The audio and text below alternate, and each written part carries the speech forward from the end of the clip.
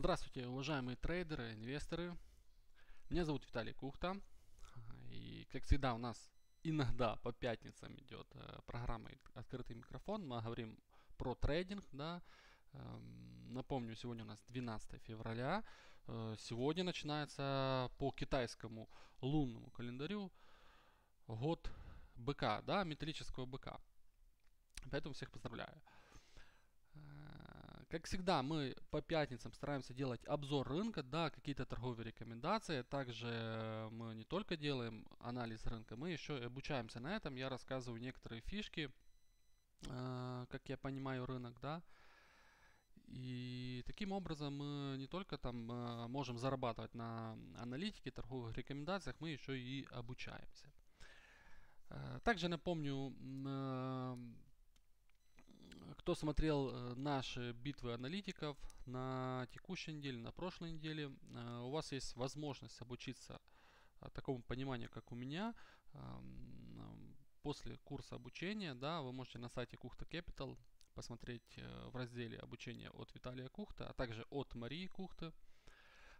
Есть вся информация по обучению, вся программа, если у вас возникнут какие-то вопросы, вы можете мне написать в мессенджер, Telegram э, или Facebook. Я отвечу на все ваши вопросы или можем пообщаться по, по скайпу и обсудить. А, итак, давайте перейдем сразу к рынку. Да, обсудим э, самые, а, скажем, такие интересные инструменты. А сегодня я бы хотел обсудить э, индекс доллара, евро-доллар. Да, они в принципе очень одинаковые. Э, также я хотел обсудить нефть и американский индекс S&P 500 с индексом VIX страха. Да? Итак, давайте начнем с индекса доллара. Э, на текущий момент, э, как я уже говорил в среду, кто смотрел битву аналитиков, я ожидаю рост индекса доллара, но этот рост пока я смотрю на него как коррекционный. Да? У нас было с прошлой недели, точнее с пятницы, и на этой неделе продолжилось доста- достаточно сильное движение вниз по данному активу, да. И, ну, такое движение, скажем, в 140 а, пунктов, да, а, я бы хотел, чтобы это движение все импульсное дало коррекцию. Поэтому можно, как я уже сказал в среду, можно заработать на коррекции.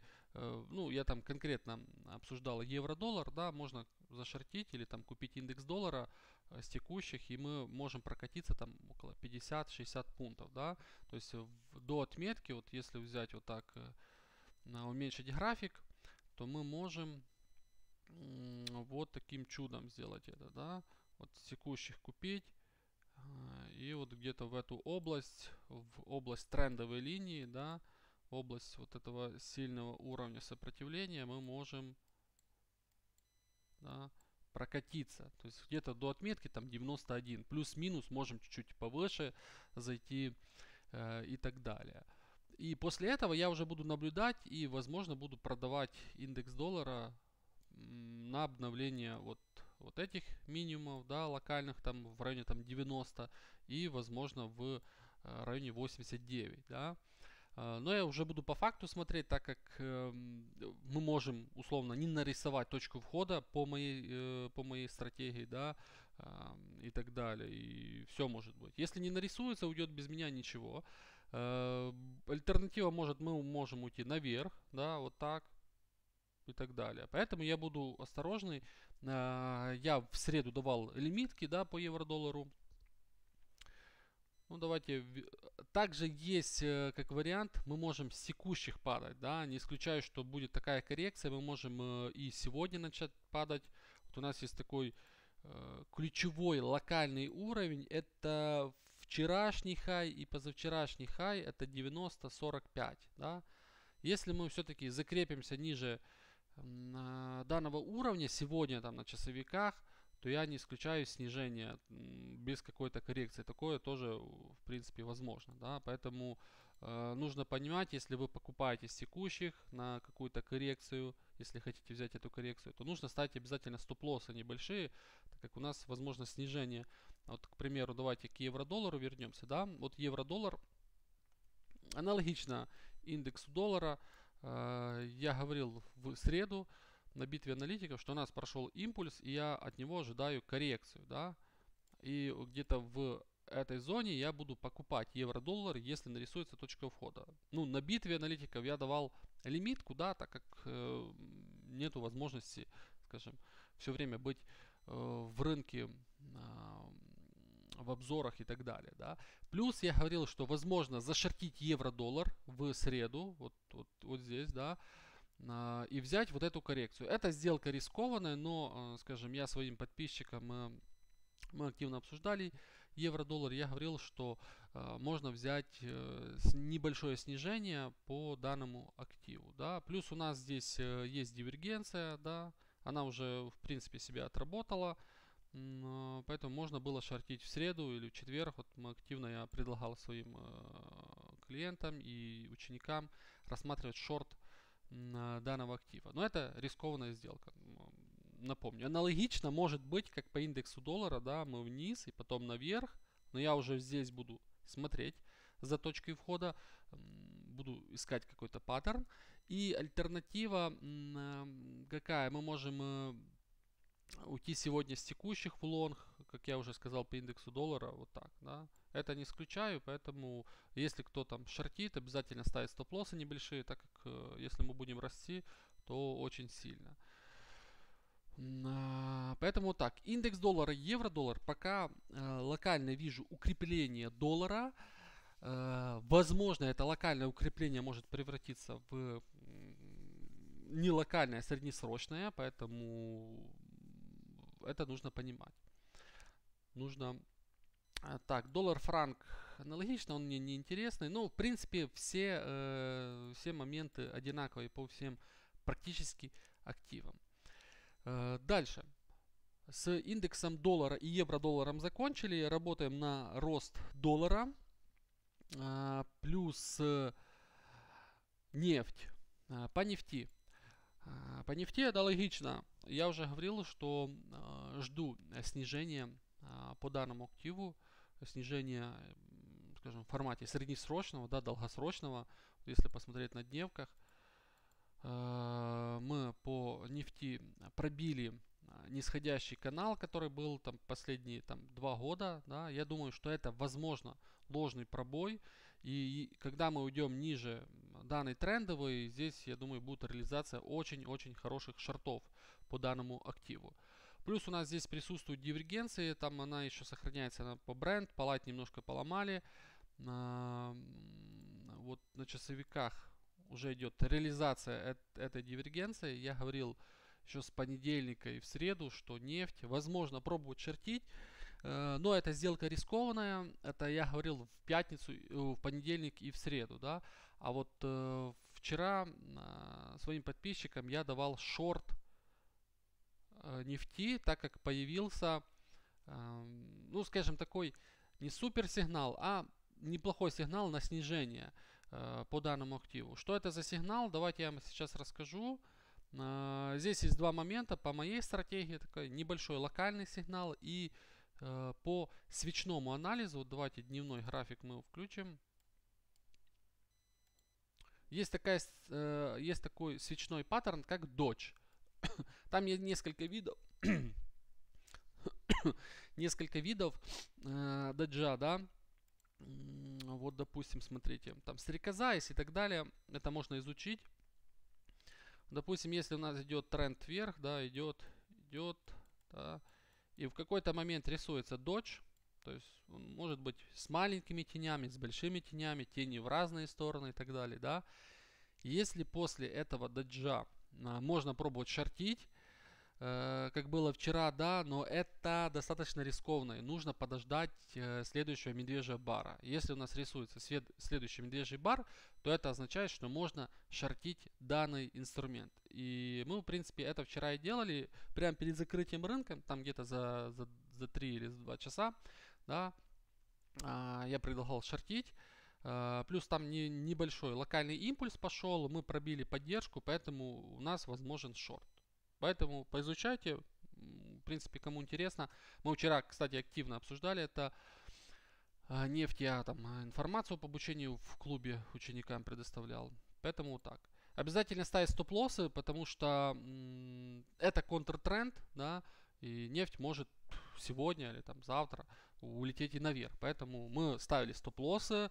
У нас нет такого, что мы без стоп-лосса торгуем. Стоп-лосс э, уже на текущий момент небольшой, но как бы, э, как бы вот так. Что касается нефти. Э, пока ожидаю снижения.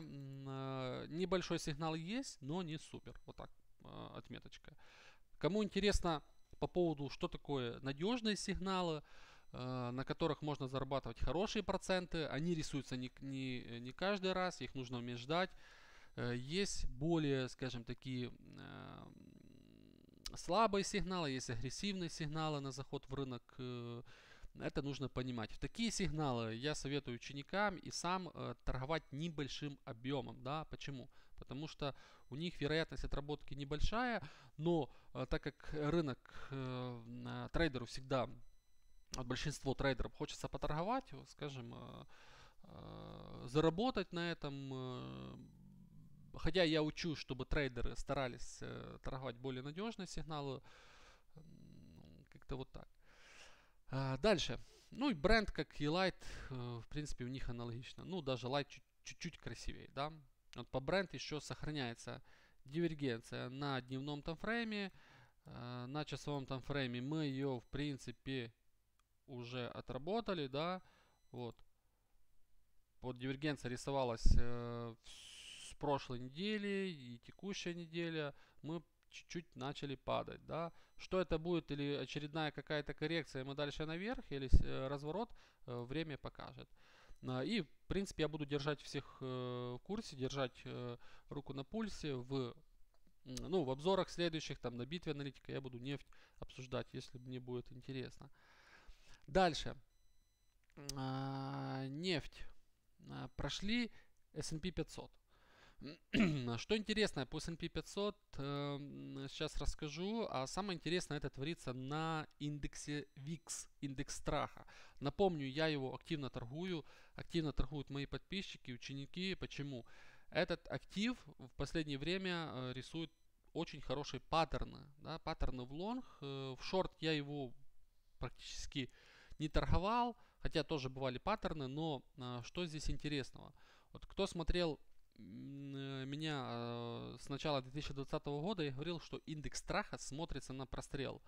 То есть у нас было очень большое накопление, э, мы с него выстрелили, да, и на текущий момент у нас аналогично в 2021 году, еще с прошлого года, у нас идет очередное накопление, да, оно может затянуться еще на скажем, на весь 21 год, да, так как было у нас э, вот, в 18-19 году, может еще больше.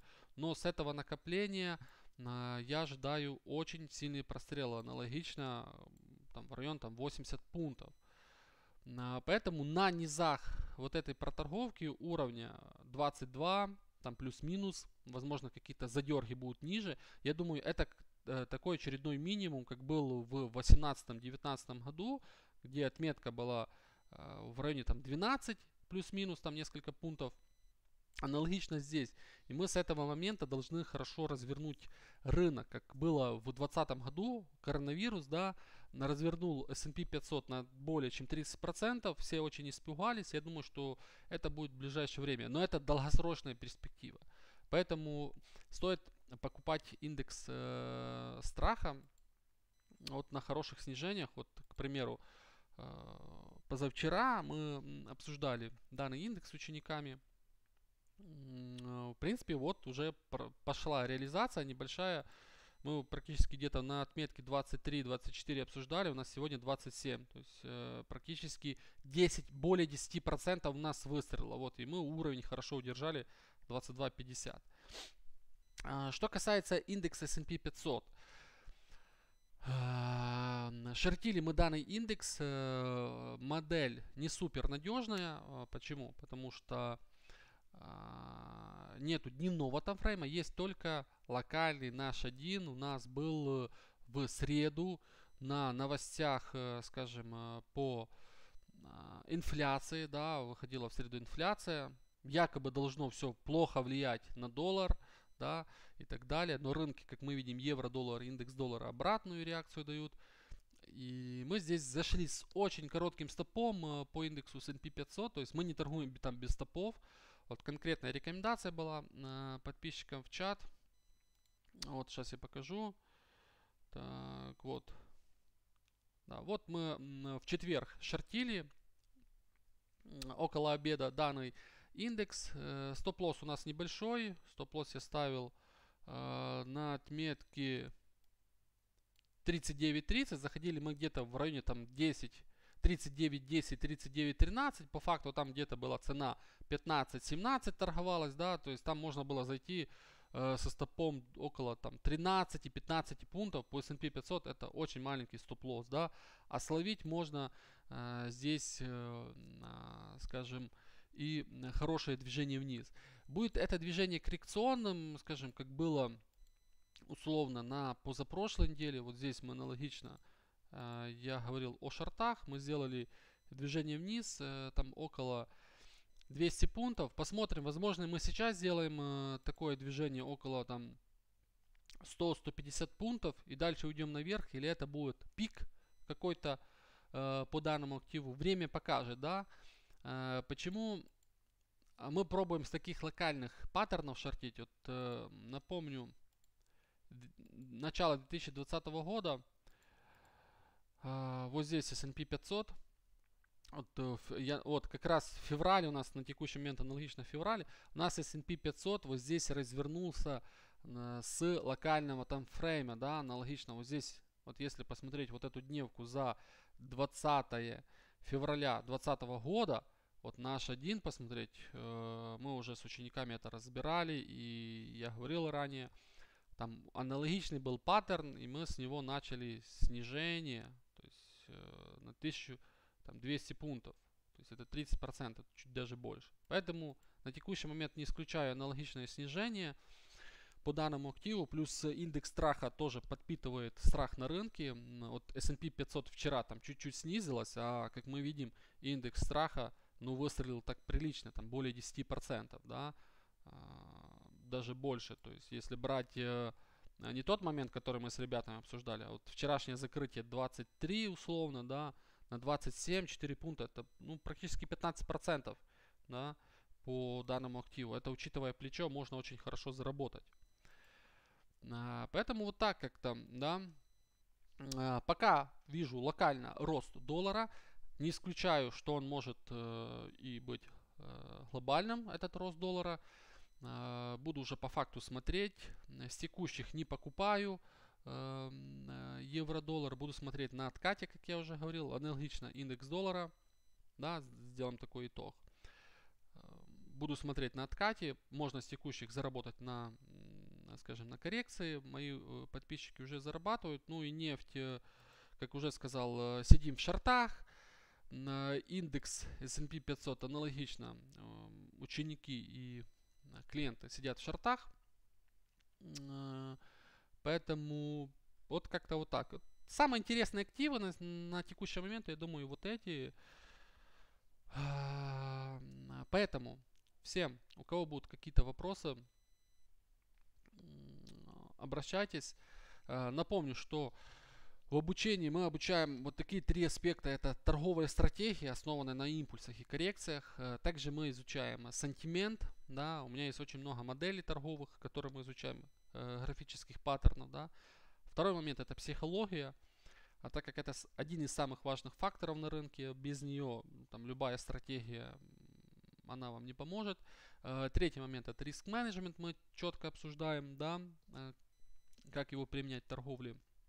Ну и плюс у нас э, есть возможность общения в клубе, общения в личку. Напомню, а, обучение все идет персональное, да, каждому ученику идет под, подход разный, да, индивидуальный. Почему? Потому что я заметил, в каждый по-разному. То есть кто-то очень быстро схватывает на лету, кто-то медленно, кому-то нужно разжевать один момент очень долго и так далее. У кого-то такая психология, кто-то может интро... только интрадей торговать, кто-то среднесрочно. Есть много учеников, которые работают на основных работах и хотелось бы параллельно зарабатывать на рынках. И нету времени уделять там ежедневно возле монитора. Да?